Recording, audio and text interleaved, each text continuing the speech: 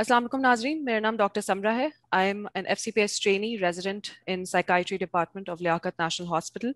With me in the panel today, I have Dr. Iqtidar Tawfiq, Consultant Psychiatrist, Liaquat National Hospital, and Dr. Mahmood Aminur Rahman, Consultant Psychiatrist, Liaquat National Hospital. Uh, we're going to share a dialogue, एक गुफ्तगू करेंगे हम जिसका मकसद ये है कि जो भी कॉमन खदशात या जो भी मिसकनसेप्शन um, हैं साइकाइट्री के बारे में और नफसियाती अमराज के बारे में वो दूर हों और जो Liaquat national hospital services provide करती है फराहम करती है आवाम के लिए, उसके बारे में थोड़ी सी एक टॉक हो, कौन सी अलग अलग किस्म की सर्विसेज़ हम देते हैं। तो लेट्स स्टार्ट ऑफ़ सबसे पहले साइकाइट्री क्या है? मेंटल हेल्थ सर्विसेज़ क्या होती हैं? नफसियाती अमराज क्या होते हैं? तो डॉक्टर इकतदार तौफीक, अगर आप कुछ बोलना चाहें इसके बारे में। बिस्मिल्लाहिर्रहमानिर्रहीम थैंक यू समरा। बहुत ही अहम मौजू है जिस पे हम आज बात कर रहे हैं। क्योंकि दिमागी बीमारियाँ या जहनी बीमारियाँ, नफसियाती बीमारियाँ, जो भी नाम आप इनको दें, ये बिल्कुल लोगों के लिए जैसे वो अछूत की बीमारी नहीं होती, वो बन गई है। हालाँकि फैक्ट ये है, हकीकत ये है कि जैसे बाकी बीमारियाँ होती हैं, उसी तरह की बीमारियाँ, जहनी बीमारियाँ भी होती हैं। यानी जैसे किसी को जिसमानी तौर पे कोई शुगर की बीमारी हो सकती है, दिल की बीमारी हो सकती है, उसी तरह किसी को भी जहनी या नफसियाती बीमारी हो सकती है। मसला खाली आ, आता है कि हम शायद नफसियाती बीमारियों को कुछ ऐसे लेते हैं कि जैसे ये सारी की सारी हमारी अपनी कंट्रोल में है। या कई कई दफ़ा ऐसा समझते हैं हम कि जैसे हमारा दिमाग अलग काम करता है हमारा जिस्म अलग काम करता है जो पुराना एक कॉन्सेप्ट भी था कि दिमाग अलग चीज़ है और जिस्म की बीमारी अलग चीज़ है। तो जब तक मतलब हम इस बात को समझ नहीं लेंगे कि हमारा दिमाग और हमारा जिस्म एक ही एक ही तरीके से काम करता है, एक ही कनेक्शन के ज़रिए काम करता है, एक दूसरे से जुदा गाना होकर काम नहीं करता है। तो उस वक्त तक हमारे दिमाग में ये बात नहीं आएगी कि न सिर्फ़ एक जिस्मानी बीमारियों का बर रास्त ताल्लुक होता है, जहनी बीमारी से। एट द सेम टाइम हमें ये समझना पड़ेगा कि बहुत सारी जहनी बीमारियाँ जिस्मानी अलामत के तौर पे आती हैं।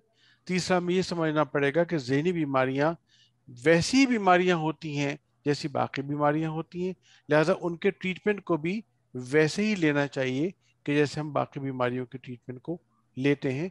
इसमें कोई ऐब समझने की बात नहीं है कोई कमज़ोरी समझने की बात नहीं है। ठीक ठीक है। Thank you doctor Iqtidar doctor Mahmood आप कुछ ऐड करना चाहेंगे टू दिस नैरेटिव जिस जिस तरह डॉक्टर इकतदार ने कहा कि जो नफसियाती बीमारी है इसका मतलब नहीं कि जी इंसान ट्रीटमेंट ना करवाए। ऑब्वियसली जैसे डॉक्टर इकतदार ने वापस कहा कि नफसियाती बीमारी इज़ द सेम लाइक कोई जिसम की बीमारी heart disease diabetes high blood pressure तो उसके लिए उसका इलाज उसका डायग्नोसिस भी है और उसका इलाज भी है। इसका ये मतलब नहीं कि अगर किसी को न, कोई नफसियाती बीमारी है कि वो जी पागल हो गया है। बिल्कुल नहीं। बहुत सी नफसियाती बीमारी जिस जिस स्पेशली एंजाइटी डिप्रेशन बहुत कॉमन बीमारी है। अगर आप देखें तो एंजाइटी जिसको घबराहट की कैफियत कहते हैं एटलीस्ट अगर सौ लोग हों तो एटलीस्ट बीस फ़ीसद लोगों को कोई ना कोई एंगजाइटी का मसला होता है। इसका मतलब नहीं, ये नहीं है कि वो जी इंसान पागल हो गया है या इंसान की शख्सियत में कोई मसला है। अब बीमारी है तो सही है, अब उसके माहिर भी बैठे, आके फिर कंसल्टेशन करवाएँ और अगर काउंसलिंग की ज़रूरत होगी तो काउंसलिंग हो जाएगी नहीं तो फिर दवा के साथ साथ भी उसका इलाज होता है होता है। हम्म, असल में यहाँ पे डॉक्टर महमूद मसला ये होता है कि जो दिमागी बीमारियाँ होती हैं ना लोग क्योंकि उनकी अलामत उस तरह की तो होती नहीं कि 104 बुखार आ गया या खून थूकने लगा इंसान या उसके दर्द हो गया पेट पे लिहाजा लोग इसको नज़रअंदाज करते रहते इसको यानी उसको उस तरह वेटेज ही नहीं देते कि ये कोई चीज़ है जिसके लिए हमें जाना चाहिए डॉक्टर के पास। मेरा अपना तो ये ख्याल है। यानी ये बहुत बड़ा फैक्टर है डॉक्टर के पास ना आने का। नहीं, आपकी बात बिल्कुल सही है कि जी उसके कोई ऐसे कोई फ़िज़िकल सिम्टम्स नहीं होते, मगर जिस डिप्रेशन का आपको मैं मिसाल दे दूँ, काफ़ी मरीज़ हमारे पास आते हैं, डॉक्टर साहब यहाँ दर्द, कंधों में दर्द हो रहा है, पेट में दर्द हो रहा है, सर में दर्द हो रहा है, फिर आप उनसे बातचीत करें तो पता चलता है कि जी एक्चुअली डिप्रेशन है, अगर डिप्रेशन को सही तरह ट्रीट करते हैं तो ये जो दर्द की अलामत हैं, क्योंकि ऑब्वियसली जैसे आपने बताया अच्छा खासा कनेक्शन है बिटवीन आपका दिमाग और आपके जिसम का। तो इंटरेक्शन तो अच्छा खासा अगर दिमाग सही चल रहा है तो जिसम भी सही चलेगा। तो ऑब्वियसली फिर आप पता करवाएँ तो फिर पता चलता है कि जी एक्चुअली मरीज़ को है डिप्रेशन इसके पूरे जिस्म में हर जगह दर्द हो रहा है। बिल्कुल। बिल्कुल ठीक है। Thank you doctor Mahmood thank you doctor Iqtidar next एक बहुत इंपॉर्टेंट सवाल जो और एक इंपॉर्टेंट ऑब्जर्वेशन जो की जाती है हमारी सोसाइटी में साइकाइट्री के साथ और नफसियाती अमराज के साथ और उसके इलाज के साथ इतना बड़ा स्टिग्मा क्यों अटैच्ड है? लोग क्यों कतराते हैं नफसियाती अमराज से और उसके इलाज करवाने से? लोग क्यों ये प्रेफर करते हैं कि वो आ, क्या कहते हैं रूहानी इलाज करवा लें और वो किसी डॉक्टर के पास ना जाएँ प्रोफेशनल हेल्प के लिए? इसके बारे में डॉक्टर महमूद अगर आप कुछ कहना चाहें तो। Right right. अच्छा जी तो पहले तो शुरू करूँ कि थोड़ी लोगों के पास थोड़ी लैक ऑफ़ अंडरस्टैंडिंग है कि नफसियाती बीमारी होती क्या है। वो समझते हैं जी कोई जिसमानी मसला नहीं है, अगर आप अगर सबसे ज़्यादा नफसियाती बीमारी को देखें तो उसमें ऑब्वियसली दिमाग का कोई ना कोई हिस्सा सही काम नहीं कर रहा होता। तो ये एक्चुअली दिमाग भी अपने जिसम का हिस्सा है तो एक्चुअली नफसियाती बीमारी आजकल जिसमानी बीमारी समझ, समझी जाती है, मगर लोग उसको समझते नहीं है। ऑब्वियसली उसके जो अलामत हैं, उसके सिम्टम्स जो हैं, वो थोड़े डिफरेंट होते हैं कंपेयर टू लेट्स से अगर किसी को सर में दर्द है, किसी को गला खराब है, किसी को बुखार है।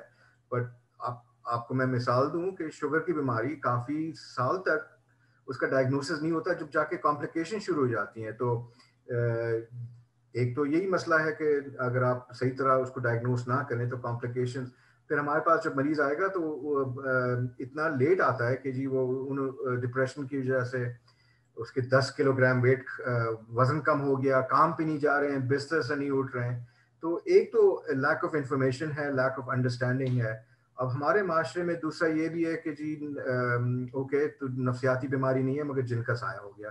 ठीक है हम्म। मैं मेरे पास काफ़ी मरीज़ आते हैं तो मैं कहता हूँ ठीक है एक तरफ़ रूहानी इलाज भी कराएँ मगर एक तरफ़ साथ साथ अपना मेडिकल ट्रीटमेंट भी साथ साथ करवाएँ जहाँ दुआ होती है वहाँ दवा भी चलती है साथ साथ तो obviously lack of understanding lack of knowledge और फिर मरीज़ ये भी कहते हैं जी डॉक्टर साहब सालों साल तक दवाई लेनी पड़ेगी। नॉर्मली देखें ऑब्वियसली अगर आप कोई नफ्सियाती दवाई ले रही हैं उसकी आदत नहीं पड़ती। uh, मगर यह है कि उसको टाइम लगता है uh, मरीज़ को बेहतर करने में और फिर जैसे हाई ब्लड प्रेशर है, अगर आप दवाई लेंगे तो आप सही रहेंगे, दवाई छोड़ दें तो फिर क्या होता है? तो उसी तरह आपकी ज़्यादातर नफसियाती बीमारी उसको मैनेज कर सकते हैं दवाई के साथ, उसको कंट्रोल कर सकते हैं। वो कहीं जाती नहीं है मगर इसका मतलब नहीं कि आप दवाई के आदि हो गए। आप ब्लड प्रेशर की दवाई के क्या आदि नहीं होते हैं? आदि हो जा, हो ही जाते हैं अगर कोई मरीज़ है जिसके गुर्दे नहीं काम कर रहे हैं, वो डायलिसिस करवा रहा है हफ़्ते में दो या तीन मरतबा, अब वो भी तो उस मशीन का आदि हो गया है। और लोग नहीं समझते कि ये नफसियाती बीमारी ख़तरनाक हो नहीं होती मगर काफ़ी नफसियाती बीमारी काफ़ी अगर उसको सही तरह इलाज ना किया जाए तो काफ़ी ख़तरनाक मरीज़ के लिए हो सकती है दूसरे लोगों के लिए नहीं।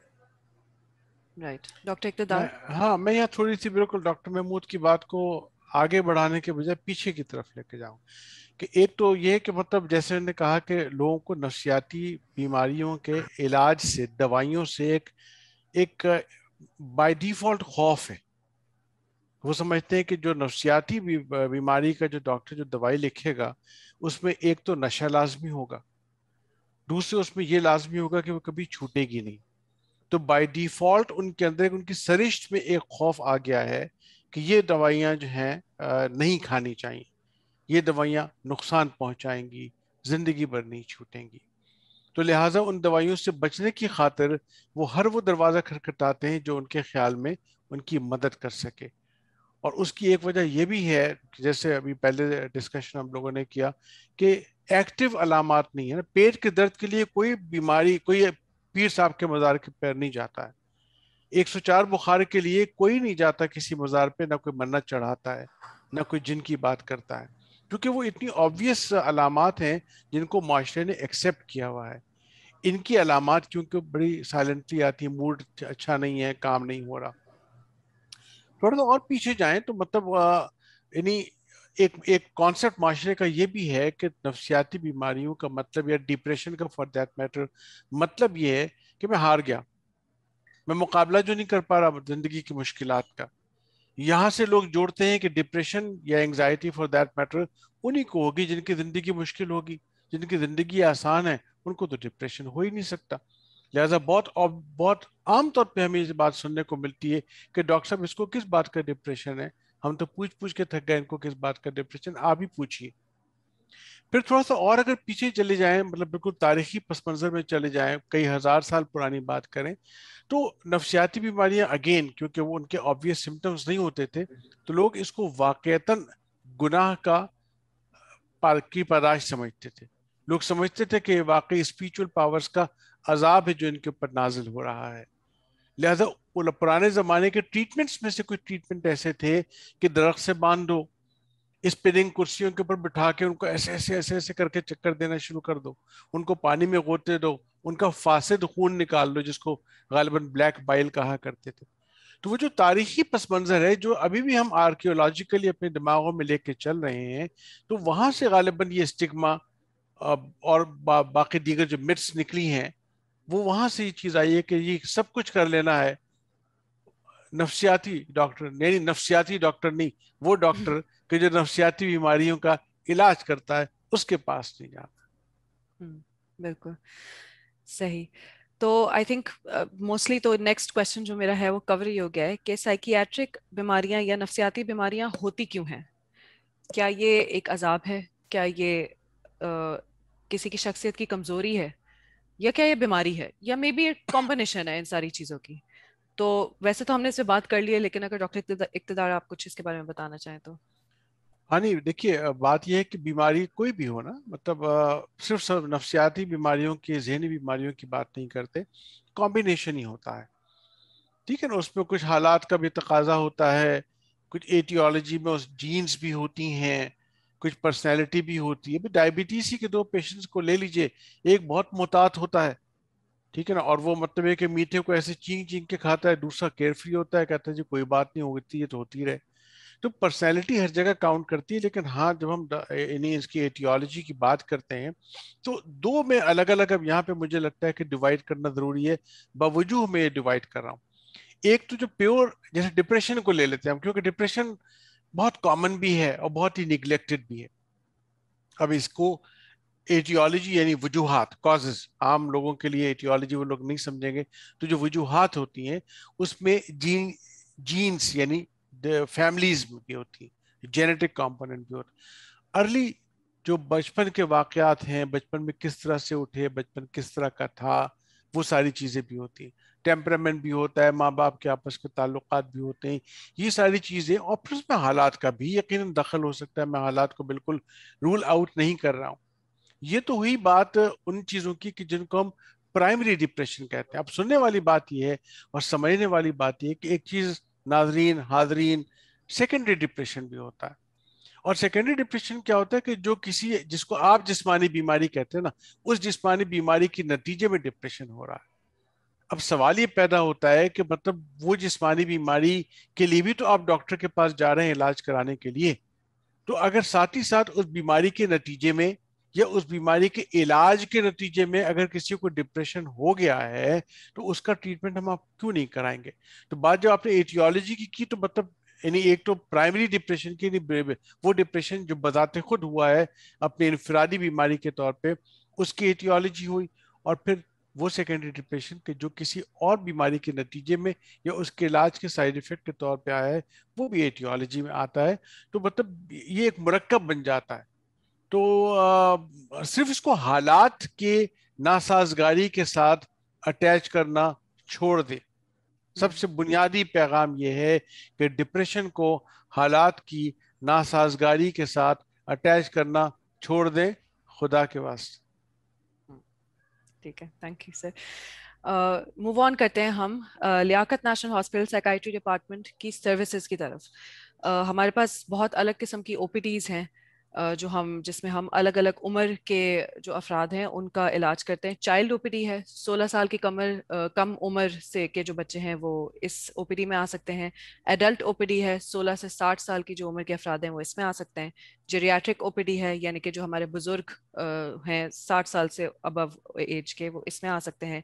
मैरिटल क्लिनिक है, थेरेपी क्लिनिक्स हैं, जिसके अंदर साइकोलॉजिस्ट हमारे बैठते हैं। अलग अलग किस्म की थेरेपीज होती हैं उसके अंदर।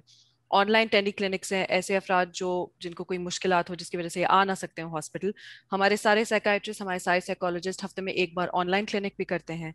इसके अलावा इमरजेंसी साइकियाट्रिक सर्विसेज़ भी हम प्रोवाइड करते हैं। किसी भी किस्म की नफसियाती मर्ज की वजह से कोई इमरजेंसी हो गई हो हमारे पास 24 फोर आवर्स एक साइकाट्री का डॉक्टर अवेलेबल होता है लियाकत नेशनल हॉस्पिटल में जो उनकी जो सारी शिकायतें हैं उन, उनको दूर करने के लिए।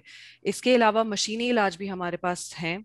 इसमें एक ई e है इलेक्ट्रोकन्वल्सिव थेरेपी और एक RTMS है। R T M S relatively एक न्यू न्यू मशीन है जो हमारे पास आई है रेपिटेटिव ट्रांसक्रेनियल मैग्नेटिक स्टिमुलेशन के नाम से।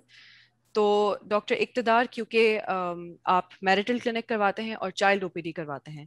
तो आप अगर थोड़ा सा बताएँ इसके बारे में कि किस किस्म के मरीज़ आपके पास कॉमनली आते हैं इन दोनों ओपीडीज में? या अगर जो नाजरीन देख रहे हैं, कौन से ऐसे अलामत हैं जो वो देखें अपने करीबी रिश्तेदारों में या दोस्तों में तो वो लेकर आए आपके ओपीडीज में? थैंक यू वेरी मच सबसे पहले तो मैं एक बात कहना चाहता हूँ कि देखिए, वो लोग जो समझते हैं कि साइकेट्रिस्ट तो आधा पागल ही होता है। उनके लिए मेरा पैगाम ये कि, कि हमारी लड़की जो अभी बहुत ही जूनियर लेवल पे अभी ट्रेनिंग कर रही है वो कितना अच्छा इंटरव्यू कंडक्ट कर रही है और कितना अच्छा होल्ड है उसको अपनी सारी चीज़ों पर। तो मतलब साइकेट्रिस्ट के बारे में जो आपकी मिथ्स हैं जो आपके मिसकॉन्सेप्ट हैं खुदा के वास्ते पहले तो वो दूर कीजिए। हो सकता है कुछ लोग आपको ऐसे भी नज़र आए हों कि जिनको देख के आपका दिल चाह रहा हो कि यार पहले अपना ट्रीटमेंट तो करा ले लेकिन सब ऐसे नहीं होते। ऐसे हर फ़ील्ड में ऐसे डॉक्टर्स मौजूद होते हैं कि जिनको पहले अपना ट्रीटमेंट कराना चाहिए। Coming back to your question Samra basically आपने गालिबन मैरिटल क्लिनिक के हवाले से पहले पूछा है कि चाइल्ड साइकेट्री के हवाले से? Marital and child child clinic के हवाले से मैं कह रहा था कि 16 साल की कम 16 साल तक के बच्चे हमारे पास आते हैं और जिसमें अगर बीमारियों के हवाले से देखूँ तो एडीएचडी और ऑटिज्म ऑटिज्म में यानी बच्चा एक बिल्कुल ही मुख्तलिफ़ अंदाज में बिहेव कर रहा होता है, उसकी लैंग्वेज भी डेवलप नहीं हुई होती, वो स्ट्रेंजर्स के साथ भी सही रबता नहीं कर सकता है। ऑटिज्म में बच्चा टिक के नहीं बैठता फोकस नहीं कर पाता एडीएचडी में सॉरी और दूसरा जो एक इमोशनल uh, प्रॉब्लम्स आते हैं जिसमें एंजाइटी भी आती है सेपरेशन एंजाइटी डिसऑर्डर्स भी आते हैं यहाँ तक कि डिप्रेशन भी आता है। लोग ये समझते हैं कि बच्चों को डिप्रेशन नहीं हो सकता है। वो कान खोल के सुन लें दोनों कान अपने खोल के क्योंकि हर उम्र के बच्चे को डिप्रेशन हो सकता है। फ़र्क सिर्फ़ ये होता है कि उनका ट्रीटमेंट का जो प्लान है वो हम एडल्ट से ज़रा मुख्तलिफ़ अंदाज में हैंडल करते हैं लेकिन हर उम्र के बच्चे को डिप्रेशन हो सकता है। तो पहली बात तो ये कि जो इमोशनल प्रॉब्लम्स में जैसे डिप्रेशन एंजाइटी हुआ वो प्रॉब्लम जैसे ऑटिज्म हुआ एडीएचडी हुआ, लेकिन एक और जो प्रॉब्लम आ रहा है, जो कि मेरा ख्याल है कि अभी साइकेट्री की किताबों में नहीं आया है, वो बच्चों के जो रूटीन्स खराब हुए हैं आजकल, और जिसकी वजह से बच्चों के अंदर एक एंगर आ रहा है इल डिसिप्लिन होना आ रहा है माँ बाप की एक्सपेक्टेशंस आ रही हैं माँ बाप की ओवरवेलमिंग उनके साथ रवैये आ रहे हैं। ये बच्चों को हमारे पास बहुत ज़्यादा लेकर आ रहे हैं।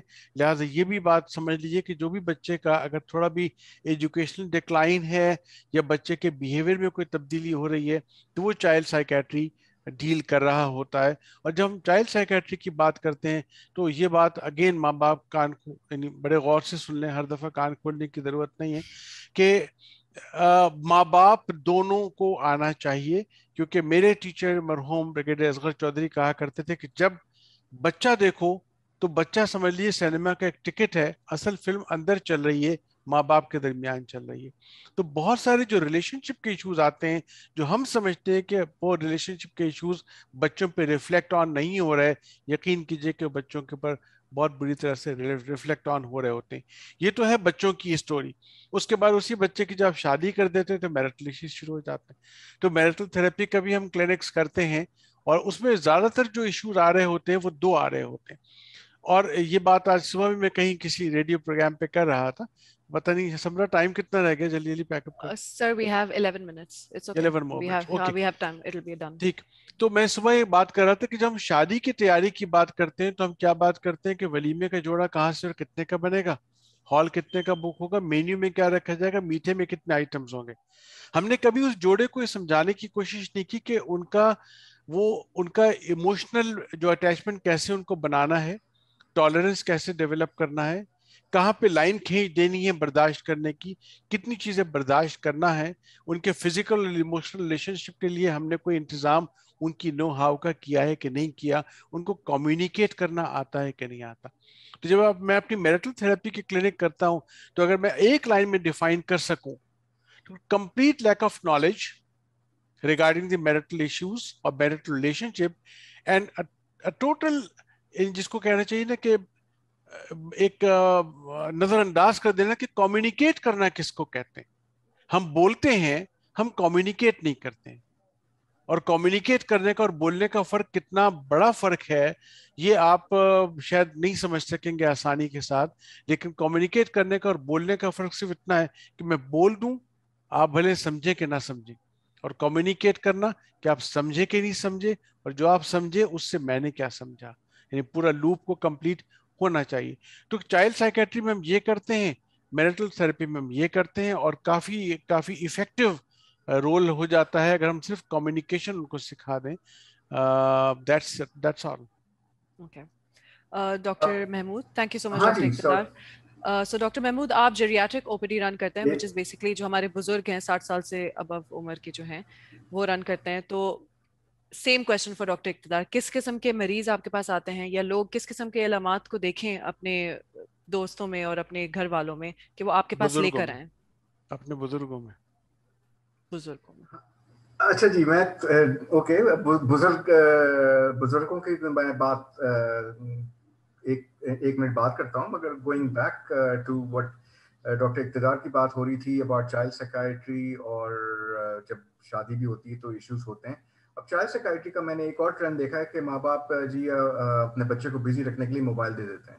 और फिर कहते हैं, आते हैं हमारी क्लिनिक में, जी, कि ये बच्चा मोबाइल छोड़ ही नहीं रहा। तो मेरा एक ही सवाल होता है कि दिलाया किसने इनको मोबाइल ठीक है? और दूसरी चीज़, जी, काफ़ी मरीज़ आते हैं मेरे पास ऑब्वियसली अपने पेरेंट्स के साथ आते हैं मरीज़ की उम्र होती है इन द ट्वेंटीज़ और वो समझते हैं, जी प्लीज़ अगर वो इनकी शादी करवा दें तो नफसियाती मसला सब सभी नफसियाती मसले सब सॉल्व हो जाएँगे, हल हो जाएँगे और मैं प्लीज़ इस तरह का ना सोचा करें, नफसियाती मसले सॉल्व हल नहीं होते हैं शादी करने से और कभी कभी मज़ीद ख़राब भी हो जाते हैं तो उसका फिर इलाज करा के फिर बाद में शादी करवा लें। Anyways going back to बुज़ुर्ग के नफसियाती इशूज़ के बारे में एटलीस्ट एज सिक्सटी और अबव उसमें भी हम लोग डिप्रेशन देखते हैं एंजाइटी देखते हैं, मगर फिर एक और जो कैटेगरी आ जाती है, उम्र के लिहाज से यादाश्त का मसला कि जी लोग वो बेचारे वाले साहब, अम्मी जी अब चीज़ें भूल रही हैं, बच्चों का नाम याद नहीं रह रहा, जिसको हम लोग डिमेंशिया कहते हैं तो उसके लिए सीनियर सिटीजन यूनिट में भी क्लिनिक्स हैं, उसमें हमारी रेगुलर ओ में भी क्लिनिक हैं तो उसके लिए फुल वर्कअप के लिए बिल्कुल मरीज़ का पूरा मायना होता है इन्वेस्टिगेशंस होते हैं और अगर कुछ चीज़ें बेहतर कर सकते हैं तो ऑब्वियसली बिल्कुल कोशिश करते हैं, मगर एटलीस्ट डायग्नोसिस तो हो जाए कि किस तरह का डिमेंशिया है। उसके लिए फिर आगे जाके मैनेजमेंट किस तरह की करनी है लोगों को किस तरह इनके माँ बाप को देखना है सेफ्टी किस तरह प्रोवाइड करनी है तो वो सब इश्यूज़ बिल्कुल फिर समझाना पड़ता है टाइम लेकर सो सीनियर सिटीजन यूनिट अच्छा काम कर रहा है।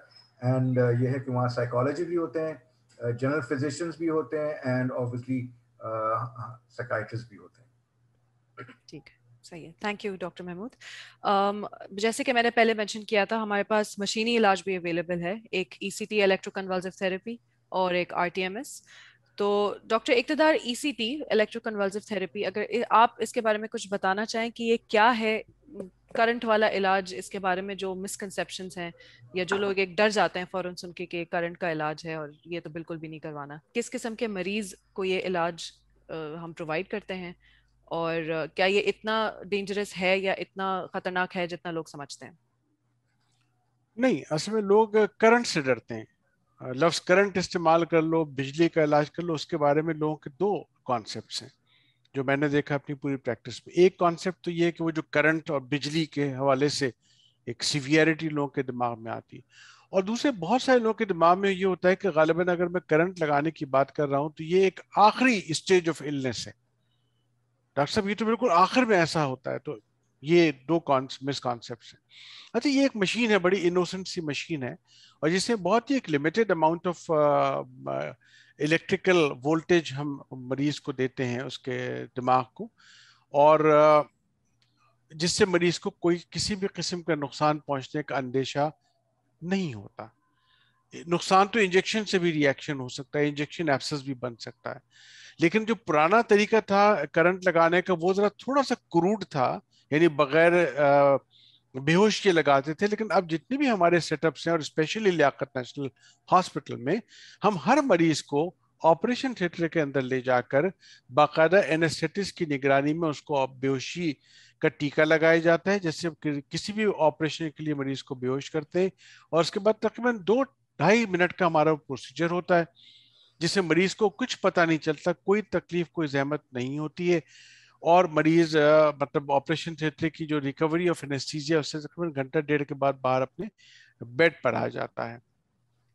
ये तकरीबन हम दो दो तीन दिन के गैप के बाद हफ़्ते में दो दफ़ा करते हैं और यूजुअली आठ से दस ट्रीटमेंट्स करते हैं।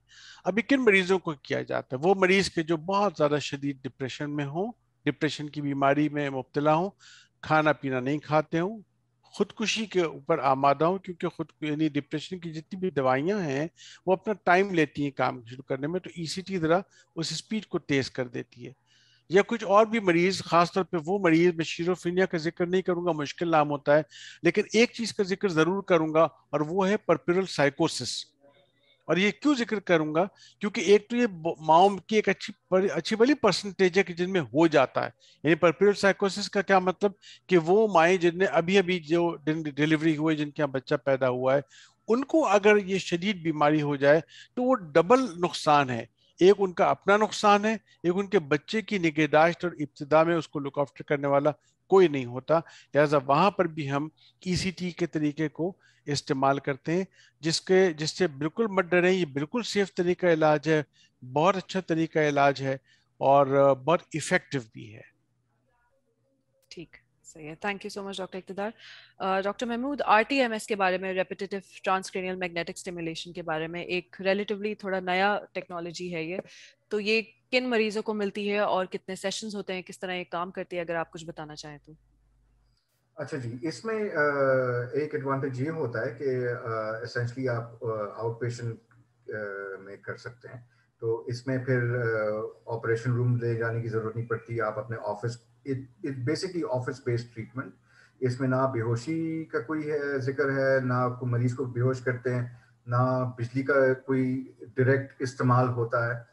और ये उन मरीज़ के लिए मरीज़ के लिए जिनको जो समझते हैं कि दवा नहीं लेनी, मगर अगर मशीन से इलाज हो सकता है तो ठीक है। अगर वो दवा ले रहे हैं और इतना फ़ायदा नहीं हो रहा तो उनके लिए भी ये सहूलत है।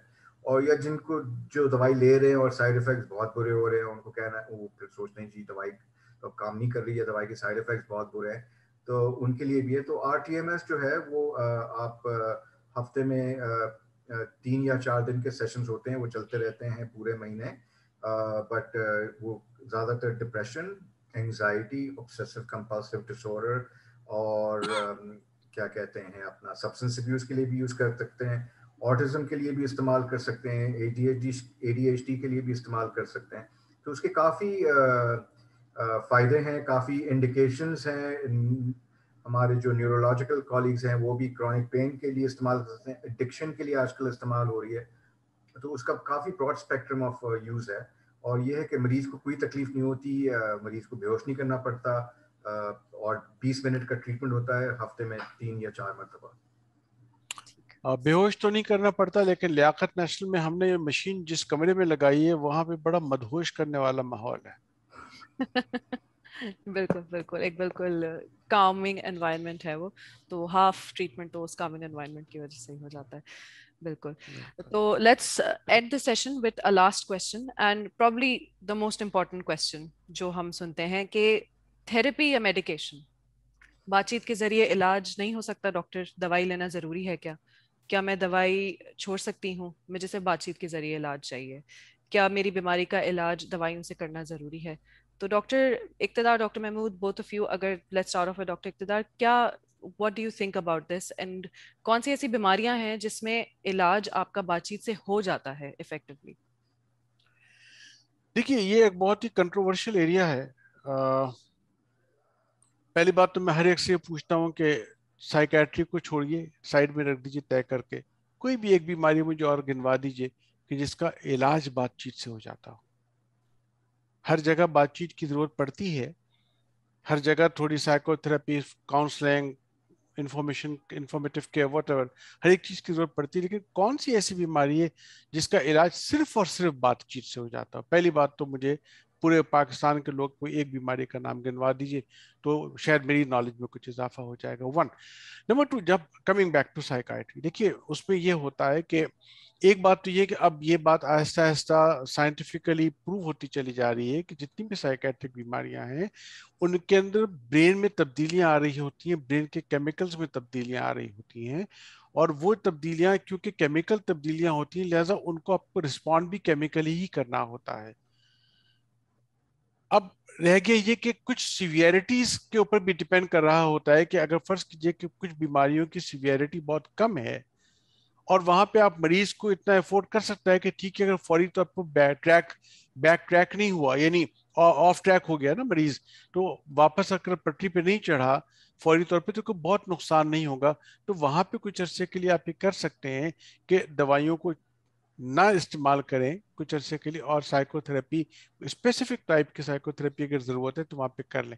लेकिन अगर बीमारी मॉडरेट या उससे ज़्यादा की है, जहाँ पे बंदा ऑफ़ ट्रैक हुआ हुआ है फैमिली को टाइम नहीं दे पा रहा है, नौकरी छूटने वाली है शूटिंग्स पे नहीं जा पा रहा है तो वहाँ पे आपको इस बात की ज़रूरत होती है कि जितनी जल्दी हो सके उसको ट्रैक पर ले आइए। तो मतलब वहाँ पे मुझे लगता है कि लोगों की वो जो एक इनहेरेंट सरिश्त में है ना कि दवाई नहीं खाना आखिरी सवाल, किसी और बीमारी के लिए क्यों पैदा नहीं होता कि डॉक्टर साहब, के दवाई के बगैर इलाज हो सकता है? तो वही बैकग्राउंड है कि दवाई साइकेट्री की नशे करेगी, छोड़ेगी नहीं। हम ताकतवर बन जाएँगे विल पावर इस्तेमाल कर लेंगे, नमाजें पढ़ लेंगे, उम्र कर लेंगे। तो वही सारा बैकग्राउंड है कि जहाँ से, जिस, जहाँ से सवाल निकलता है और फ़ायदा उठाने वालों ने इससे बहुत फ़ायदा भी उठाया है। मैं समझता हूँ कि हर किस्म की साइकोथेरेपी काउंसलिंग की ज़रूरत हर किस्म की फ़ील्ड में पड़ती है। मतलब जो कैंसर का पेशेंट होता है, उससे ज़्यादा किसको साइकोथेरेपी चाहिए? लेकिन कोई मुझे बताए कि क्या वो कैंसर की साइकोथेरेपी खाली करते हैं? कोई दवाई नहीं देते, कोई सर्जरी नहीं करते हैं क्या? तो एंड में मेरा जवाब ये है कि देखिए मतलब साइकोथेरेपी का प्रोपोर्शन है स्पेसिफिक जगहों पे। साइकेट्री में। ऑल्टरनेटिव नहीं है ट्रीटमेंट का। ये मेरा जवाब। ठीक। Thank you so much sir doctor Mahmood हाँ जी डॉक्टर इकतदार की मैं बात थोड़ी आगे लेके जाऊँ और थोड़ी पीछे भी लेके जाऊँ बट ये है कि अगर मरीज़ को दिल का दौरा पड़ रहा है तो आप पीर के मज़ार पे नहीं जाते हैं मरीज़ को लेके in emergency in in acute emergency या फिर रूहानी इलाज नहीं कराते हैं। आप इनको अस्पताल के इमरजेंसी रूम में ले आते हैं तो उसी तरह आपने ऑब्वियसली मरीज़ की ट्रीटमेंट शुरू करवानी है। अब जैसे डॉक्टर इकतदार कह रहे थे कि जी माइल्ड केसेस हैं ठीक है, उसमें साइकोथेरेपी का बिल्कुल रोल है। बट जैसे मॉडरेट टू सिवियर केसेस हैं, अगर किसी का कोलेस्ट्रॉल थोड़ा सा बढ़ा हुआ है तो आप कहते हैं, जी, अभी दवाई शुरू करते हैं, आप थोड़ा डाइट को कंट्रोल कर लें और फिर थोड़ा एक्सरसाइज कर लें और फिर छः महीने बाद छः महीने महीने महीने बाद देख लेते हैं कि जी क्या हो रहा है। ठीक है बट ऑब्वियसली अगर कोलेस्ट्रॉल फिर फिर भी कंट्रोल नहीं हो रहा तो आपने फिर दवाई देनी देनी है। सो so, ठीक है अगर माइल्ड डिप्रेशन है माइल्ड एंगजाइटी है ठीक है साइकोथेरेपी करवा लें अगर मैं मरीज़ को फ़ायदा हो गया ठीक है नहीं हुआ तो एटलीस्ट फिर मरीज़ को फिर आपने साइकाइट्रिस्ट के पास भेजना है जिसने देख के फिर सही तरह की दवाई देना है। और और हमारा ये काम नहीं होता कि जी मरीज़ को वो ऐसी दवाई दे दें पूरा दिन वो जी बेहोशी पड़ा रहे वो, वो जी बिल्कुल गलत है। और वो अनफॉर्चुनेटली पुराने ज़माने की दवाइयाँ थी जिसको ये साइड इफ़ेक्ट था मगर आजकल की जो नई नई दवाइयाँ हैं हमारा गोल यही होता है कि मरीज़ अपने टांगों पे फिर खड़ा हो जाए और जो रेगुलर एक्टिविटीज़ हैं जितना जल्दी उस पर वापस अपने ट्रैक पे आ जाए। देखिए मैं एक थोड़ा सा पॉइंट ऐड करूँगा और वही ऐड करूँगा कि जैसे डॉक्टर महमूद ने कहा कि साइकेट्रिस्ट के पास मरीज़ को आ जाना चाहिए बिल्कुल आ जाना चाहिए। लेकिन प्रॉब्ली चाहे वो साइकेट्रिस्ट हो चाहे वो न्यूरोलॉजिस्ट हो चाहे वो कोई हो जो प्राइमरी प्राइमरीली मरीज़ को डॉक्टर के पास जाना चाहिए, क्योंकि मैंने पहले आपसे ज़िक्र किया था कि सेकेंडरी डिप्रेशन की भी एक बहुत बड़ी कैटेगरी है। और वो सेकेंडरी डिप्रेशन की कैटेगरी को कोई भी मजार वाले, कोई भी साइकोलॉजिस्ट कोई भी सोशल वर्कर नहीं पहचान सकता, क्योंकि उसका वो ट्रेनिंग का पार्ट नहीं तो लिहाजा, आपको जो कुछ भी हो रहा है, पहले कम से कम खुदा रहा कभी एक दफ़ा डॉक्टर से स्क्रूटनाइज करा लीजिए कि ऐसा तो नहीं कि आपको थायराइड की वजह से डिप्रेशन हो रहा हो। बस ये मेरा सबसे इंपॉर्टेंट पैगाम है डॉक्टरों से मत डरिए साइकेट्रिस्ट से तो बिल्कुल भी मत डरिए बड़े इनोसेंट लोग होते हैं। आप दो दो शक्ल तो सामने ही देख रहे हैं तीन नज़र सही ठीक है thank you so much doctor Iqtidar thank you so much doctor Mahmood. And thank you नाजरीन जो देख रहे हैं उम्मीद है कि इस सेशन से आपको या इस गुफ्तु से आपको कुछ फ़ायदा पहुँचा हो और जो भी खदशात थे आपके नफसियाती बीमारी के बारे में, वो थोड़े दूर हुए हों। And Liaquat national hospital is here for you we are here to provide all these different services help is out there and thank you so much बहुत बहुत शुक्रिया सर